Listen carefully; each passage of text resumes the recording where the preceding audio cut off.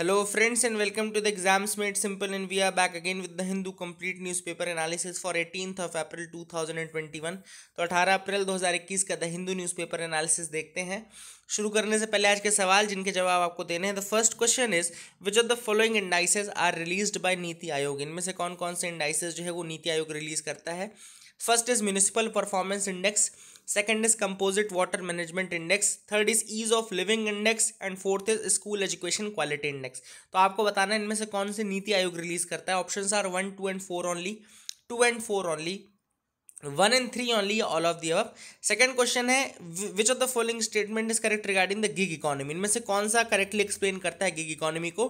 First statement is saying it is a politically unstable country with the economy dependent upon the export of a limited resource product second statement कह रहा है it refers to a state of the economy where the inflation rates start increasing beyond the controllable levels third statement is saying it is a labour market characterise by the prevalence of short term contractual work as oppose to permanent jobs and fourth is saying it refers to the economy that is rich in natural resources witness an growth across sectors ठीक है ना? तो आपको बताना इनमें से कौन सा गिग इकोनॉमी के रिगार्डिंग सही है? थर्ड क्वेश्चन है the I A E A low enriched uranium L E U bank ये जो है आई ए ई ए का एक लो एनरिस्ड यूरेनियम बैंक है is an assurance of supply mechanism of last resort for eligible I A E A members तो I A E A members के लिए last resort के रूप में low enriched uranium bank है। तो आपको बताना है कि लो एनरिस्ड यूरेनियम बैंक इनमें से कहाँ लोकेटेड है? Option are A Kyrgyzstan B Kazakhstan C Turkmenistan या D Turkey So these are the three questions for you today. Please do try to answer these questions in the comment section below. आज की map exercise देखते हैं, कौन सी हम map देखेंगे। तो आज का जो मैप मैं आपको बताने वाला हूँ, वो है आपका साउथ ईस्ट एशियन रीजन का, यानी आसियान कंट्रीज़ और थोड़ा सा साउथ चाइना से फिर से अपन रिवाइज करेंगे। देखो तो मैप बहुत इंपॉर्टेंट एक्सरसाइज है। इस क्वेश्चन आना तय है प्रिलिम्स में भी। और अगर आपको एक बार मैप पता रहता तो काफ़ी क्वेश्चन आप आसानी से इंटरनेशनल रिलेशन के हों, चाहे कुछ भी हो तो आप इजिली सॉल्व कर सकते हैं। सबसे पहले अपन देखते हैं कंट्री लेवल पे साउथ ईस्ट एशिया या आसियान मेंबर्स के भी थोड़ा ज़्यादा डीप में जाएँगे। तो ये तो आपको इंडिया वाला पार्ट दिख रहा होगा। देख दिस इज़ द इंडिया वाला पोर्शन जहाँ पे कि आपका फिर म्यांमार बॉर्डर टच करता है। ठीक है ना? तो ये है म्यांमार द फ़र्स्ट कंट्री जो कि आपकी south east Asian south east Asia में आता है म्यांमार ना कि साउथ एशिया में। ये भी आपको डिफरेंस क्लियर होना चाहिए कि म्यांमार जो है, इसीलिए वो सार्क का मेंबर नहीं है।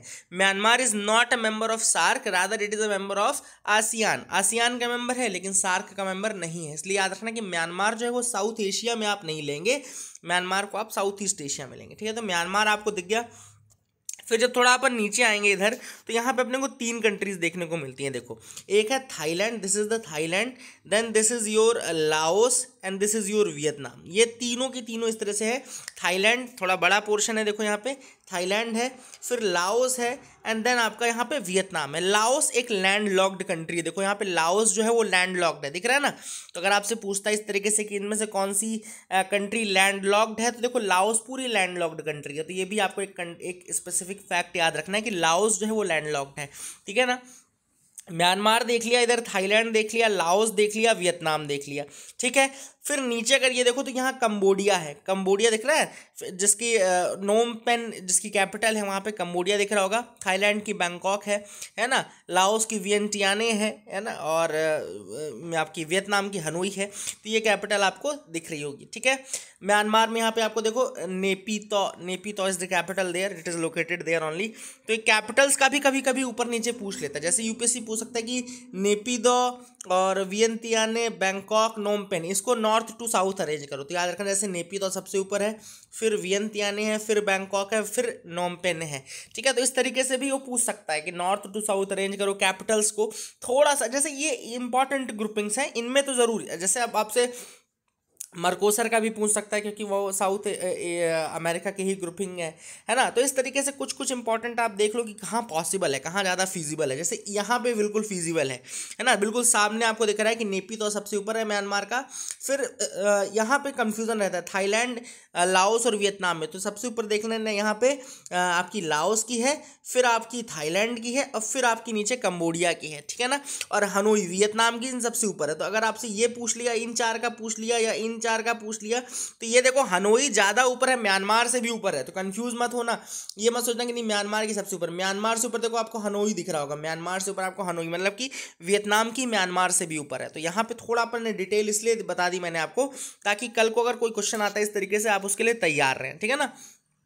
तो यहाँ पे याद रखना है कि जो म्यांमार की कैपिटल है वो है नेपितो और यहाँ पे जो वियतनाम की हनोई है हनोई ज़्यादा नॉर्थ में है than compare to your Myanmar. उसके बाद फिर आज क्या आती है लाओस की कैपिटल वियंतियाने देन आपकी थाईलैंड की आती है बैंकॉक एंड देन आपकी कम्बोडिया की आती है नोम पेन ठीक है ना?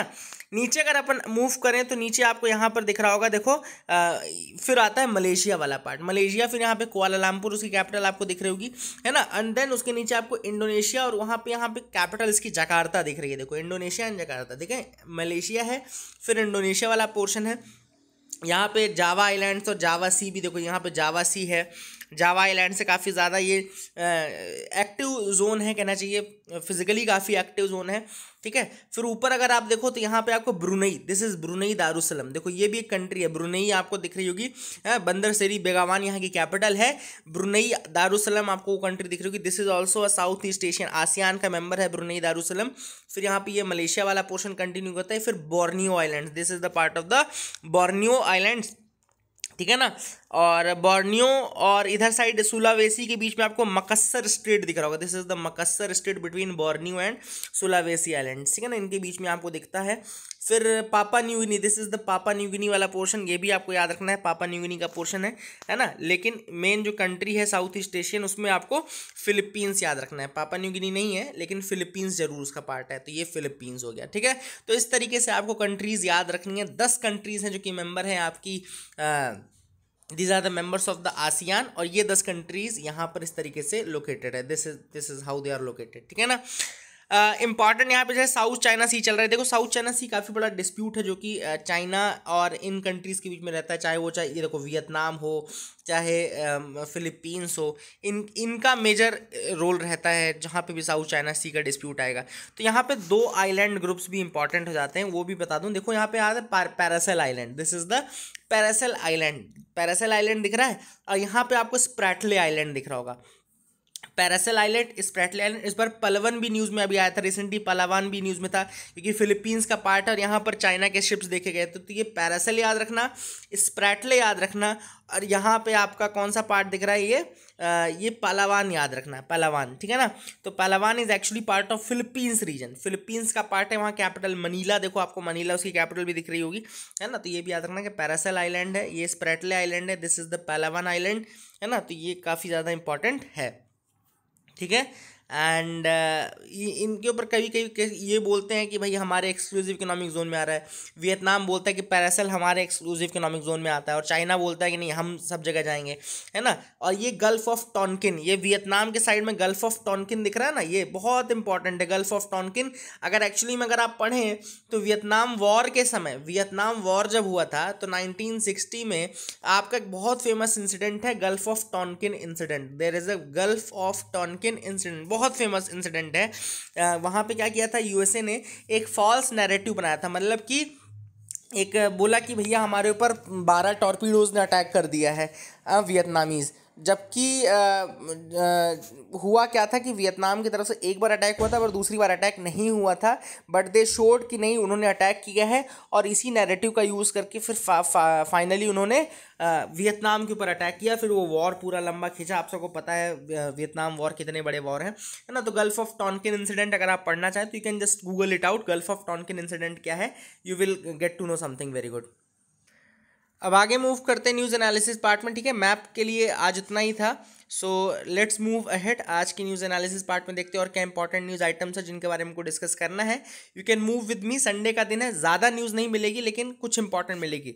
जैसे कि यहाँ पे ग्रेट इंडियन बस्टर्ड की पोचिंग पाकिस्तान में हुई है, जिसमें कि उन्होंने काफ़ी फ्लॉन्ट भी किया। देखो, इस तरह से कैराकासस लेकर के वो खड़े हुए हैं ग्रेट इंडियन बस्टर्ड के। अब आपको पता होना चाहिए जो हुआ है, ये पाकिस्तान के चोलिस्तान डेजर्ट रीजन में हुआ है। पाकिस्तान के चोलिस्तान डेजर्ट रीजन में हुआ है, जहाँ पे पोजर पोचर्स ने बहुत बहुत ज़्यादा इस तरीके से कैराकासिस को लेकर के फ्लॉन्ट किया, उसकी फ़ोटोग्राफ्स ली, ये सब चीज़ें। काफ़ी नाखुश है इससे कि जो डेजर्ट नेशनल पार्क, आपका राजस्थान में है डेजर्ट नेशनल पार्क, ये भी याद रखिएगा, राजस्थान में क्या है? Desert national park. और इंपॉर्टेंट चीज़ ये कि ग्रेट इंडियन बस्टर्ड जो है वो स्टेट बर्ड है राजस्थान की। Great Indian bustard is the state bird of Rajasthan and it is considered one of the most critically endangered birds. Actually 2011 में इसको आईयूसीएन ने क्रिटिकली इंडेंजर्ड क्राइटेरिया में रखा था। देखो, यहाँ पर लिखा हुआ है कि क्रिटिकली इंडेंजर्ड क्राइटेरिया में 2011 में रखा because of the continued threats faced in the survival of these large birds ठीक है ना? तो काफ़ी इंपॉर्टेंट है। एक और फैक्ट जो मैंने बताया था कि डेजर्ट नेशनल पार्क जो है कहाँ पे लोकेटेड है? Desert national park is located in your Rajasthan only तो काफ़ी इंपॉर्टेंट है। एंड जो ग्रेट इंडियन बस्टर्ड की पॉपुलेशन है it is lesser than hundred in Rajasthan and that account for ninety five percent of the total world population मतलब कि great Indian bustard में सौ से भी कम नंबर्स जो हैं वो राजस्थान में हैं और ये जो है, ये वर्ल्ड के नाइन्टी फाइव परसेंट बनाते हैं। तो मतलब आप देख सकते हैं कि इस बर्ड्स के नंबर कितने कम है ऑलरेडी और पाकिस्तान ने इस तरीके से जो किया है दैट मतलब पाकिस्तान के लोग जो भी कर रहे हैं तो एक्चुअली कहीं ना कहीं गवर्नमेंट का सपोर्ट रहता है, तभी आप इस तरीके की हरकत करते हो, उसको इतने फ्रीली फ्लॉन्ट कर रहे हो अगर आप। तो that is actually under the under the umbrella of your own government तो ये काफ़ी uh, गलत चीज़ है और इसके लिए हमको कहना भी चाहिए। आगे मूव करते हैं देखते और क्या इंपॉर्टेंट न्यूज़ आइटम्स है जिनके बारे में हमको डिस्कस करना है। तो you can also move with me जुनता leader to join the ASEAN summit अब आसियान समिट जो होने वाला है जकार्ता में होने वाला है ठीक है ना? तो जकार्ता कहाँ की कैपिटल मैंने बताई थी आपको बताइएगा। तो जकार्ता में होने वाला है चौबीस अप्रैल को। नाउ द आसियान की तरफ़ से जो, म्यांमार की तरफ़ से जो, पहले क्या होता था, पहले तो डेमोक्रेटिक कंट्री के रूप में वहाँ से जो इलेक्टेड थे, वो जाते। एन का कोई मेंबर जाता नेशनल लीग फॉर डेमोक्रेसी का जो वहाँ की पार्टी है। बट अभी चूँकि इन्होंने टेक ओवर कर लिया है मिलिट्री कू कर दी है म्यांमार में तो अब जो मिलिट्री जुंटा लीडर हैं मिनोंग हलियांग वो जाकर ज्वाइन करेंगे आसियान समिट को। आसियान की बात करें तो this is an association of South East Asian nations एक रीजनल ऑर्गेनाइजेशन है, जो कि जो नेबरिंग कंट्रीज़ है साउथ ईस्ट एशियन की, उनको साथ लाती हैं for economic security and political issues economic security and political grouping के रूप में है। एंड इसके मेंबर्स कौन कौन से हैं? Brunei Cambodia Indonesia Laos Myanmar Malaysia Philippines Singapore Thailand and Vietnam ये दस मेंबर्स हैं, याद रखेगा Brunei Cambodia Indonesia Laos Malaysia Myanmar Philippines Singapore Thailand and Vietnam. These are the ten members of ASEAN और ये जो ग्रुप है बहुत ज़्यादा सक्सेसफुल ग्रुप हम नहीं बोलेंगे। क्यों? क्योंकि South East South China Sea में इतना बड़ा समझ समझ लो आप कि इतना बड़ा इनकर्जन करता है चाइना लेकिन उसके अगेंस्ट खड़े होने की अगर आपके पास हिम्मत नहीं है तो फिर आप एक सक्सेसफुल ग्रुप नहीं हुए। अगला जो न्यूज़ है देखो वो है रा, Raul Castro steps down as head of Communist Party of Cuba तो कम्युनिस्ट पार्टी ऑफ़ क्यूबा के हेड के रूप में अभी जो थे वो राहुल कैस्ट्रो थे. Now he is stepping down as the head of the Cuba's Communist Party which is ending an era of formal leadership that began in 1959 revolution actually 1959 की क्यूबन मिसाइल क्राइसिस हुई थी. 1959 में ही क्यूबन मिसाइल क्राइसिस हुई थी, जिसके पास, जिसके बाद उस समय फिदल कैस्ट्रो काफ़ी ज़्यादा नाम सामने आया था। और 1959 से ये लीडरशिप कैस्ट्रो ब्रदर्स ब्रदर्स के पास गई थी और अब राहुल कैस्ट्रो स्टेप डाउन कर रहे हैं। And finally this is the end of the Castro era also क्योंकि अब जो अगले चीफ होंगे may be that Miguel Diaz Canel रहेंगे Miguel Diaz Canel so this is the thing Rahul Castro याद रखिएगा आप लोग। है ना आगे मूव करते हैं, देखते हैं और क्या इंपॉर्टेंट न्यूज़ आइटम्स है जिसके बारे में को डिस्कस करना है। You can move with me The story of 220 million years old rat-like creature via microfossils. Now, अब ये तीखी फॉर्मेशन है, मध्य प्रदेश में शहडोल में है, तीखी तिहकी, याद रखिएगा Tihki is a village Tihki is a village in Shahdol district Madhya Pradesh, जहाँ पर कि क्या मिला है there has been a microfossil found बहुत एक पुराना माइक्रोफॉसिल लगभग 220 million years old 220 million years old microfossil has been found, and this is cynodont the fossil is of cynodont किसका फॉसिल है साइनोडोंट का फॉसिल है which is a small rat like animal that lived 220 million years ago तो cynodont is a small rat like animal which lived about 220 million years ago and The researchers from the Indian Institute of Technology Kharagpur used scanning electron microscopy to study about 10 teeth sample collected from the village of Tihki in Shahdol. तो इसकी study किसने की थी Indian Institute of Technology Kharagpur ने इसकी study की है and they have found this and Tihki में जो ये रैटलाइक स्ट्रक्चर साइनोडोंट मिला है दिस इज़ बेसिकली कहना चाहिए it is a it gave rise to the present day mammals it ultimately gave rise to the present day mammal तो कुछ इस तरीके का उसका स्केच बनाया गया है. It gave rise to the present day mammals ARIES facility will host the support centre for Aditya L one अब आदित्य एलवन जो है, ये कंट्री का पहला सोलार मिशन है। सन को स्टडी करने का मिशन इंडिया का पहला आदित्य एलवन मिशन है। ठीक है ना? अब आदित्य एलवन का जो सपोर्ट सेंटर रहेगा सपोर्ट सेंटर अर्थ में जो रहेगा मतलब कि इंडिया में जो रहेगा, वो आपका एरीज रहेगा। एरीज क्या है basically ARIES is Aryabhatta Research Institute for Observational Sciences ARIES का फुल फॉर्म है Aryabhatta Research Institute for Observational Sciences ये नैनीताल में सिचुएटेड है। याद रखेगा Aryabhatta Research Institute for Observational Sciences कहाँ पे सिचुएटेड है ये? नैनीताल में सिचुएटेड है। और ये जो रहेगा, ये सपोर्ट सेंटर के रूप में काम करेगा। ग्राउंड सपोर्ट सेंटर के रूप में काम करेगा। अब ग्राउंड सपोर्ट सेंटर के रूप में काम करेगा मतलब क्या होता है? It will monitor and coordinate the work on its various payloads सात पेलोड हैं जो कि एरीज में जाने वाले हैं। सात पेलोड से total seven payloads are there and उनके लिए कोऑर्डिनेट करेगा and it will monitor the payloads from this ARIES यानी कि Aryabhatta Research Institute Observational Sciences Nainital में जो है वहाँ से इसको मॉनिटर किया जाएगा, ठीक है ना? एरीज मिशन के बारे में बता दूँ सॉरी आर्यभट्ट आदित्य मिशन के बारे में बता दूँ तो आदित्य एलवन बोलते हैं इस मिशन को। Aditya L one mission and it was conceived as a four kilogram class satellite carrying one payload the visible emission line coronagraph इसके अलावा छः अदर पेलोड्स आर देयर इनको 800 किलोमीटर लो अर्थ ऑर्बिट में करने का था पहले। Now a satellite is placed in the halo orbit around the Lagrangian point इसके अंतर्गत क्या होगा?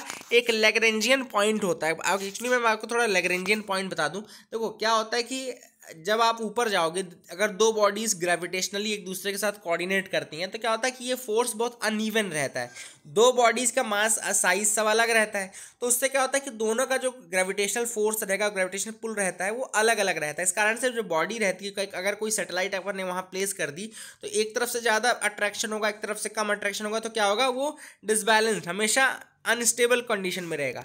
लेकिन एल वन पॉइंट्स ये जो एल पॉइंट्स होते हैं लेगरेंजियन पॉइंट्स जो होते हैं, जैसे एल वन जो पॉइंट है, वो एक ऐसा पॉइंट है जहाँ से दोनों तरीके की जो बॉडीज़ हैं, उनका जो ग्रेविटेशनल फोर्स है, वो बराबर रहता है। बराबर रहने का मतलब क्या है कि वहाँ पे अगर कोई सेटेलाइट आपने रखी तो वो स्टेबल स्टेट में रहेगी, ना कि अनस्टेबल स्टेट में। इसीलिए लेगरेंजियन पॉइंट्स के कारण लेगरेंजियन पॉइंट्स या एल पॉइंट्स या लिबरेशन पॉइंट्स बोलते हैं, यहाँ पे स्टेबल स्टेबिलिटी रहती है और जो आपका आपका कहना चाहिए कि इस तरीके से जो अनइवन ग्रेविटेशनल पुल पुश नहीं होता है, जिस कारण से आप सेटेलाइट इजीली वहाँ पे प्लेस कर सकते हैं। तो ये आपको याद रखना है। अगला जो टॉपिक है कॉपीराइट वॉर अब हुआ क्या था? बेसिकली गूगल और ओरेकल के बीच में कॉपीराइट वॉर चल रहा था। एक्चुअली एंड्रॉयड जो है, वो गूगल का है, आप सबको पता होना चाहिए। तो एंड्रॉयड में कोई कुछ, जैसे ग्यारह हज़ार लगभग लाइंस जो हैं, वो जावा कोड की यूज़ की गई हैं। अब हुआ क्या कि जावा कोड जो पहले ओन करती थी, वो दूसरी कंपनी ओन करती थी, लेकिन बाद में ओरेकल ने उस कंपनी को ख़रीद लिया, ठीक है ना? याद रखिएगा ओरेकल ने उस कंपनी को ख़रीद लिया। जब ओरेकल ने उस कंपनी को ख़रीदा तो उन्होंने बोला कि now we are also owning the Java है ना? चूँकि हम वो कंट्री हम वो कंपनी खरीद चुके हैं तो we are also owning the Java तो इस कारण से उन्होंने कहा कि हमारे कॉपीराइट को ब्रेक किया गया है and you have use our Java code for your Android edition इस कारण से you are breaking the code और या, यहाँ पर जो वहाँ के लोकल कोड्स जो थे डिस्ट्रिक्ट कोड जो थे यूएसए के, वहाँ पर ओरेकल ये केस जीत भी गया. फाइनली ये केस जो था गूगल के द्वारा ले जाया गया सुप्रीम कोर्ट में, जहाँ पर कि फिर फाइनली गूगल के फेवर में डिसीज़न दिया गया. तो आपको ये एक फैक्ट पता, देखो एक्चुअली जो जावा ऐसी था वो डेवलप किया गया था सन माइक्रो सिस्टम्स के द्वारा। देखो, यहाँ पे लिखा हुआ है सन माइक्रो सिस्टम्स के द्वारा, जिसने कि डेवलप की थी जावा लैंग्वेज को, लेकिन बाद में ओरेकल ने सन माइक्रो सिस्टम को खरीद लिया, इसलिए they owned the Java micro Java ऐसी है ना? अब हुआ क्या? देखो, हो क्या रहा था? कोर्ट्स दो क्वेश्चंस डिस्कस कर रही थी। पहला क्वेश्चन तो ये था कि क्या ओरेकल जो है, वो एक कोड की लाइन को कॉपीराइट बना सकती है या नहीं बना सकती? दूसरी चीज़ कि क्या जो ये कॉपीराइट वॉयलेशन किया गया है, क्या ये जो वॉयलेशन है दैट वाज एक्चुअली इन मतलब कि डिसेंट यूज़ फेयर यूज़ था या नहीं था? ठीक है ना? तो पुरानी जो ये दो क्वेश्चंस पे ही बेसिकली किया गया था। और एक्चुअली में वहाँ की फेयर यूज़ जो डॉक्ट्रीन है, अब मैं आपको बताता हूँ कि इसी के बेसिस में वहाँ के जो डिस्ट्रिक्ट कोर्ट्स थे सेशन कोर्ट्स थे, उन्होंने फेवर में ऑरेकल के जजमेंट दिया था। लेकिन जब सुप्रीम कोर्ट में मैटर गया तो सुप्रीम कोर्ट ने यहाँ पर दो चीज़ें, एक ही क्वेश्चन का आंसर देखा। पहला तो उन्होंने लेट कर लिया कि ठीक है भाई कॉपी राइटेबल होगा ऑब्वियसली बात है कोड की लाइन से कॉपी राइटेबल रहेंगी, तभी ये मैटर यहाँ तक आया है। दूसरा, उन्होंने देखा कि क्या ये जो कॉपीराइट वॉलेशन किया गया, ये फेयर यूज़ में किया गया या नहीं किया गया? अगर ये फेयर यूज़ में किया गया है तो फिर उसको नहीं माना जाएगा। तो यूएसए की जो सुप्रीम कोर्ट है, उसने ये देखा कि फेयर यूज़ कहता है कि fair use is a legal doctrine that promotes freedom of expression by permitting the unlicensed use of copyrighted protected work in certain circumstances ठीक है ना? जैसे कि क्रिटिसिज्म हो गया कमेंट हो गया न्यूज़ रिपोर्टिंग हो गई टीचिंग हो गया स्कॉलरशिप हो गई रिसर्च हो गया, इन पर्पसेज में आप कॉपीराइट को ब्रेक भी कर सकते हो। They qualify under the fair use तो सुप्रीम कोर्ट ने बोला कि जैसे कोड की लाइनें यूज़ करना, इतने बड़े कोड में से कुछ लाइनें यूज़ करना is actually like using a book from a library जैसे आप लाइब्रेरी में खूब सारी किताबें रखी रहती हैं, उनमें से आप जाते हो, आप दसवें ड्रॉर की, बारहवें नंबर की किताब ले लेते हो लेफ़्ट से, आपको, आपके यूज़ के लिए, आपके रिसर्च के तो it is like that only तो सुप्रीम कोर्ट ने इसी बेसिस पे कहा कि ये जो ये जो यूज़ किया गया है गूगल द्वारा ऑरेकल की lines and all they are not actually the violation and इस कारण से it comes under the fair fair use तो एपीआई जो यूज़ किया था उन्होंने लगभग, this is the, this is what exactly they said. An api is like a library each package is like a bookshelf in the library each class is like a book on the shelf each method is how to do the chapter on the book go to the right cell shelf select the right book and open the chapter and that covers the work you need so it is just like that इस कारण से इसको fair use में माना गया and therefore gave the judgment in favor of Google I hope you got clarity regarding the same काफ़ी important judgment है ये pharma exports grew 18.7 percent in financial year 21 तो इंडिया का जो फार्मास्यूटिकल एक्सपोर्ट है, वो काफ़ी ज़्यादा बढ़ गया है इन दिस फाइनेंशियली और ऑब्वियसली बात है, कोई शॉक में नहीं है ये। And that is it for the day friends I hope you like that video please like and subscribe keep loving keep sharing thank you nice day